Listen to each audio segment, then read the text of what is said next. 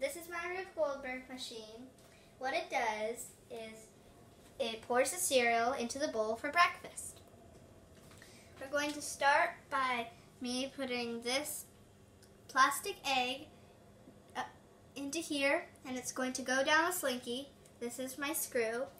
Put, it's going to fall out of the other end, push the dominoes, and that's going to let loose the string, making the wheel and axle roll down, push the giant marker, and the car is going to roll down the inclined plane.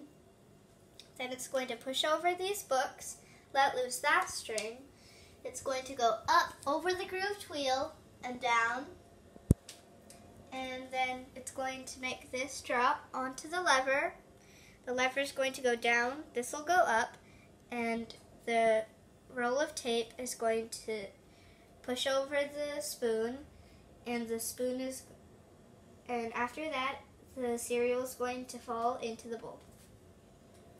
Here we go.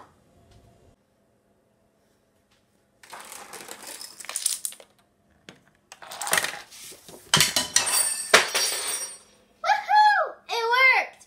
Here's your breakfast!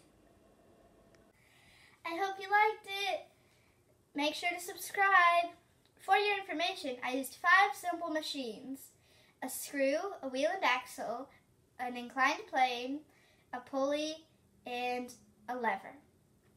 Stay tuned for more magic-tastic videos. Thank you and goodbye.